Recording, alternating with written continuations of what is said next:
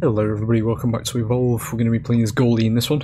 We have, uh, by, you know, Sod's Law, as usual, going against the Trapper that Goliath mains that everywhere hate, but, you know. Um, we're on Broken Hill Mine, which is the cave map. So, I believe we've just done Bog, haven't we? Have we only just done Bog? Just, just do Bog again, why not? I do like this skin, I do like the little green mossy sort of style to it. Um, Torvald Jack Sunny Rogue Val. Uh, it's a middle of the ground team. They do have the second highest damage assault in the game, the first being Parnell, based on experience. Um, Sunny is slightly better base Hank because she can deploy uh, shield drones in an area that will act as Hank basically in that area until we destroy it.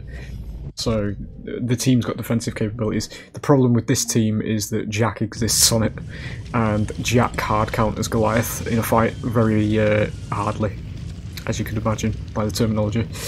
Um, we'll take the RNG corpse if it exists. Yes, it does. Excellent. We get the first bar. But we will go a different way this time. We will go a loopy loop around here. Just to smell the roses, you know, because we never well, we always usually go north at the beginning. Or scuffed aimed uh, fire breath you'll ever see, probably.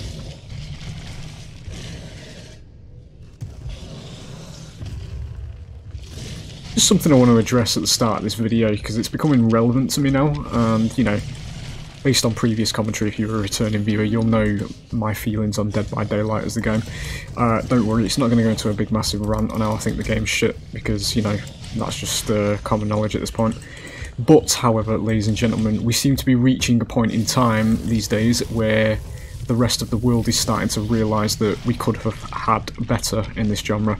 And the reason for that is the fact that a lot of the big YouTubers at the moment uh, surrounding Dead by Daylight are all making videos about how it's, you know, it's like those sort of videos that pop up where it's like, what's happening with this game? Why is it still, you know, boring and all this sort of thing? Why is it getting boring? Why is it not, you know, why is each new DLC not getting as many, you know, player spikes, you know, player spikes and stuff like that? And, you know, what the fuck am I doing? I'm stage one and eating wildlife still. That's because I'm just trying to get this bit out because I do think it is actually relevant. Because I'll get onto it in a minute. Um, long and short of it, my, my thoughts on this is that people are actually starting to realise that the game is absolute shit. Um, this comes from somebody as well, I will just say, uh, just to, you know, play devil's advocate, so to speak, and just remain somewhat neutral, you know. I enjoyed Dead by Daylight. I actually did enjoy playing Dead by Daylight. That was in 2016 to 2018, yeah?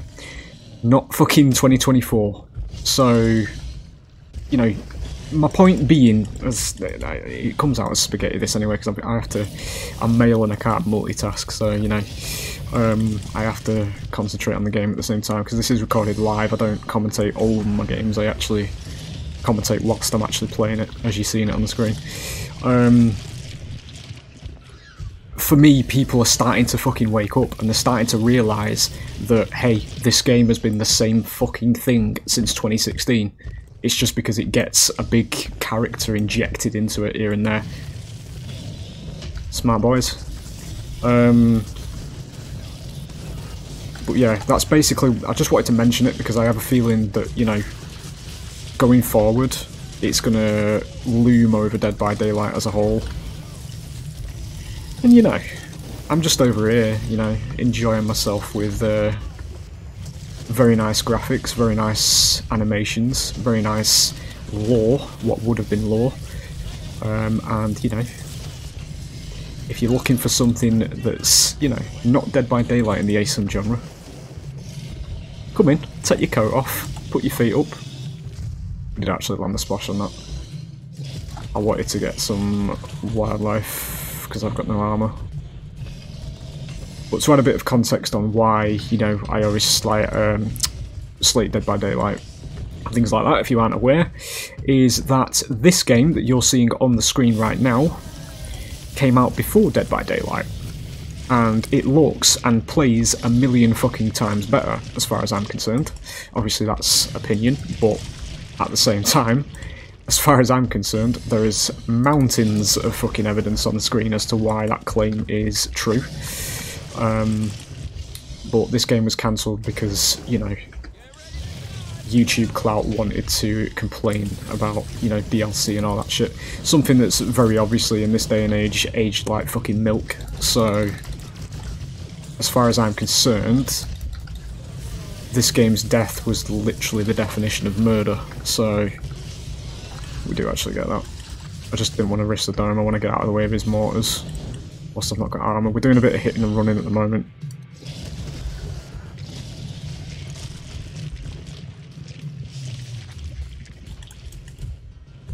But yeah, my main, you know, argument against DBD and all that is just that it's been the same shit since 2016. It just has, you know. There's more game modes in this game, so I'll add that in there as well. There's Evacuation, which is an actual multiplayer campaign, you know, where you can still play as both sides. And you do get lore fed to you as well.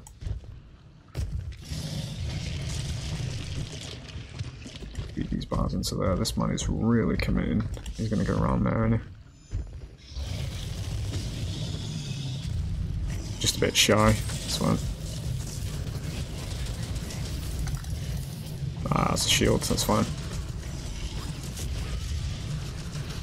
Uh, I need to move so I don't get mortared.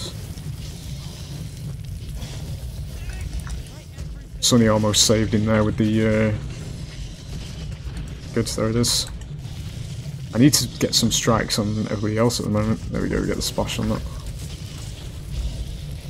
We'll go for Sunny.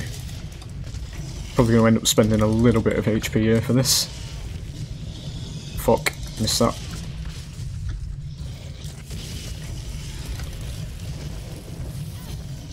another principal argument on why I don't like DBD and why it got to the top and why I do believe that it shouldn't have got to the top is the stuff that you're actually seeing on the screen at the moment, the animations and actual quality in this game.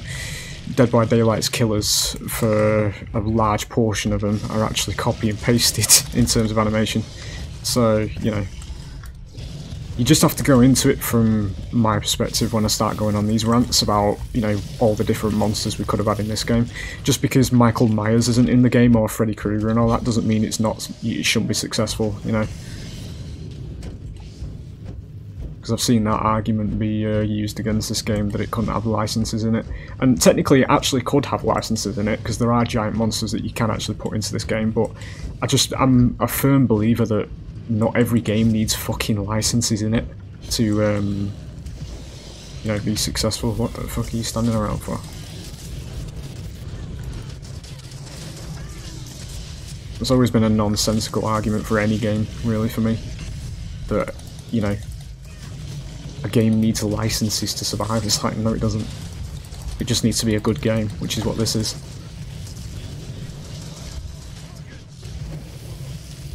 We're in shit creek at the moment, I have to say. I need this little man over here. He didn't actually get something up there, did he? I'm going to take mortars here. Okay, nice, we're getting out. Right, we're going to go to stage 3 here now.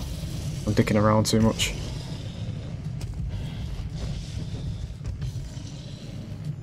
We will go and grab it here, as Goliath being the fastest monster in the game as well, so get out very quickly.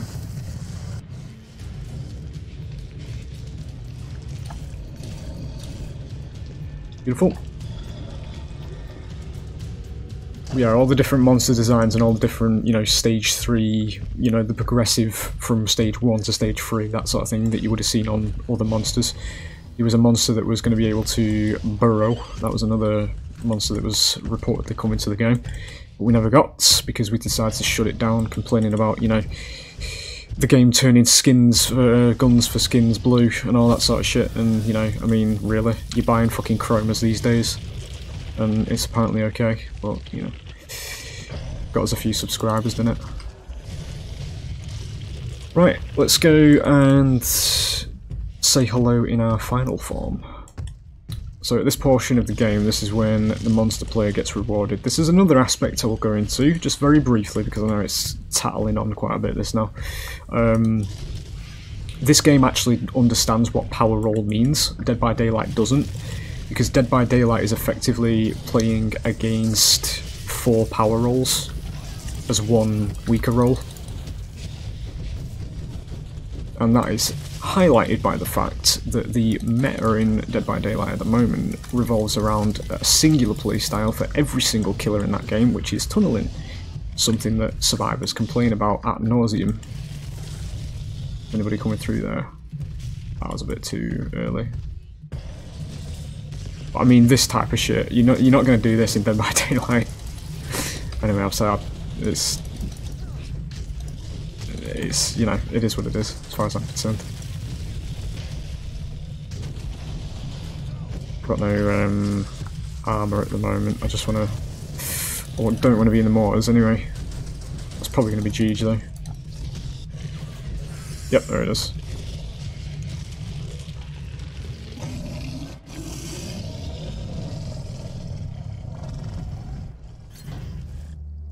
It is what it is anyway, I'm just trying to get as much videos out there as possible because while everybody else is running around in circles being chased by a badly animated man with a knife, I am literally, you know, playing as a giant monster that's very well animated in a wonderful world of no happy endings.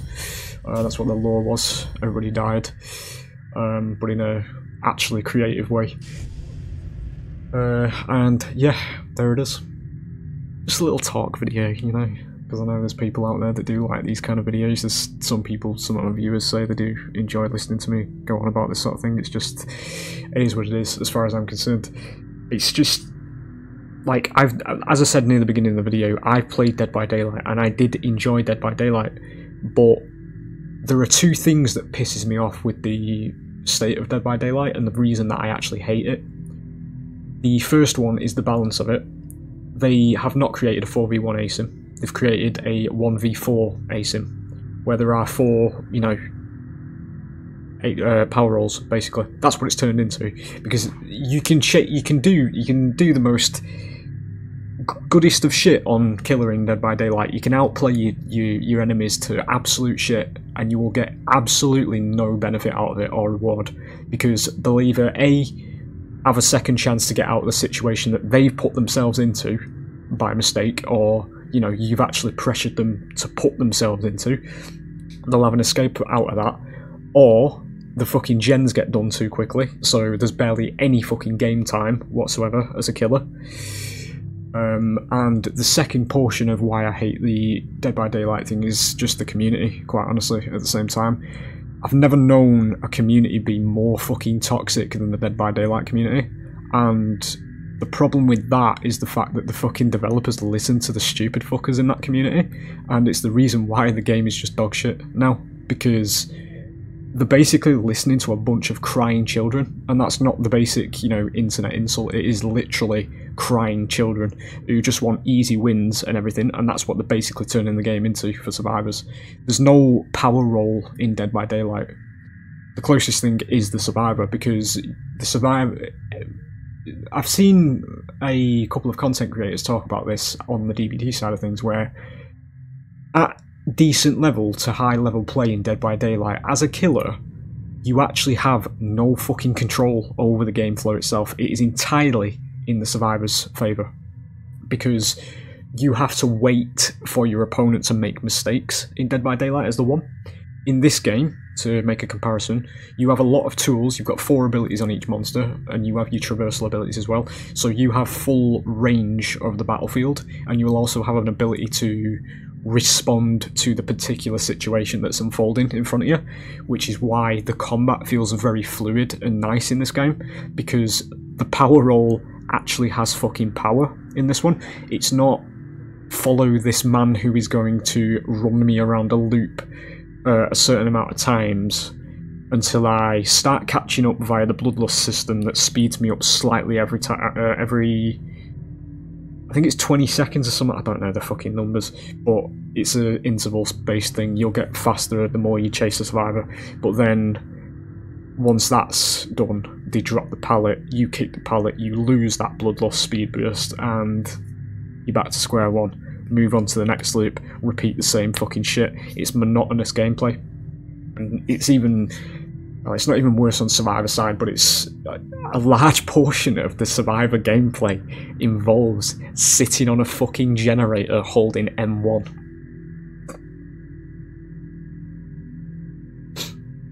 We're going to end it here because it's it's going down that route again, but it's it's it's just it's painfully, and I'm. St- oh it's painfully fucking night and day how much better this game is than Dead by Daylight. It just is.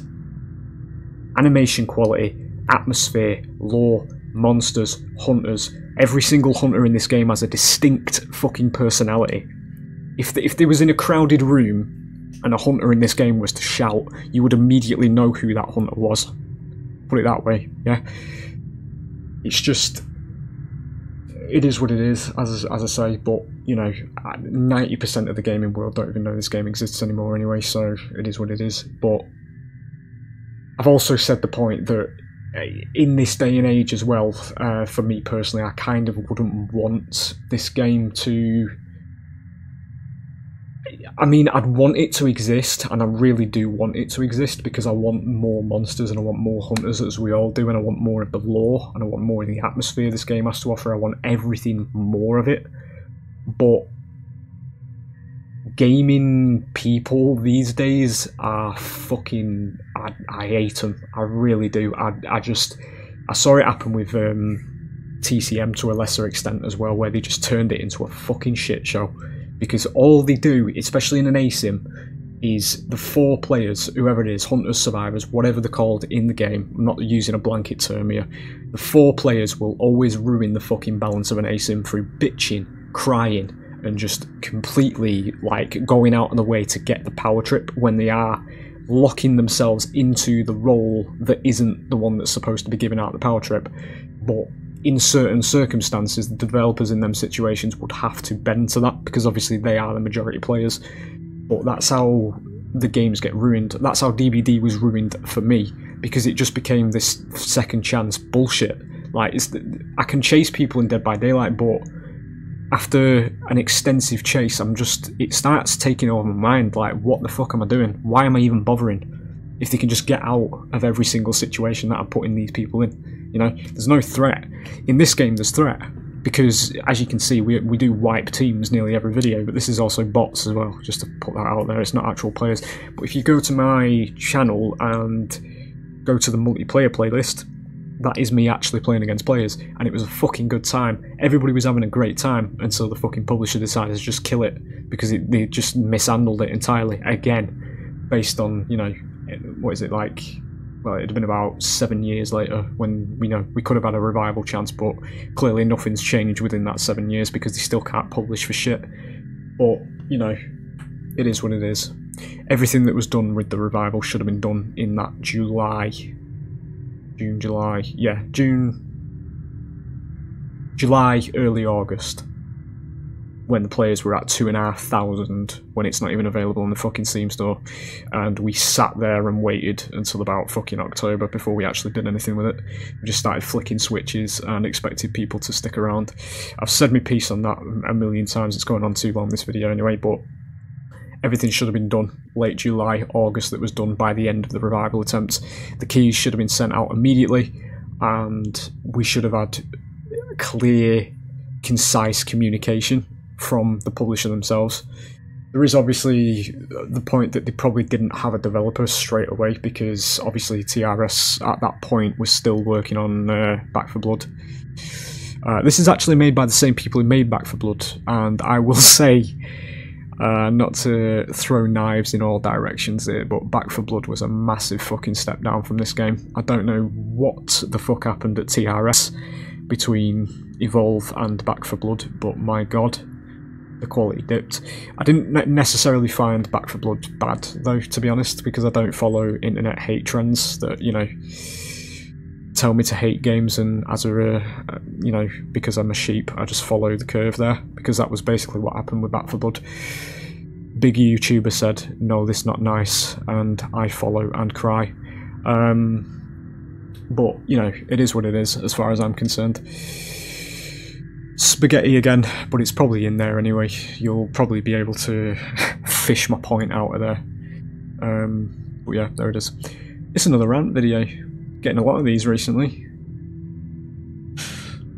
I don't know what's happening, but it's, you know, it's getting to me. Um, yeah. I will love you and leave you, and I will hopefully see you for the next one. Bye.